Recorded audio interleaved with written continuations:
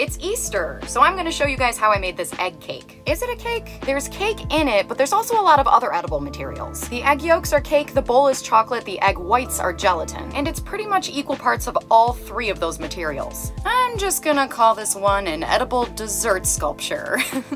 now let's cut it.